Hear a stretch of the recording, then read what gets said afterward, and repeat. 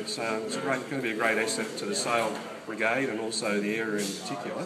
The, uh, it'll be a great benefit throughout the whole of um, District 10. What is it, what is a big filler? What does it actually? It's a uh, major, mainly a pumping uh, appliance, so it, um, it can be used to, um, to draft water out of dams or any other water supply and, and help to assist with um, pumping exercises.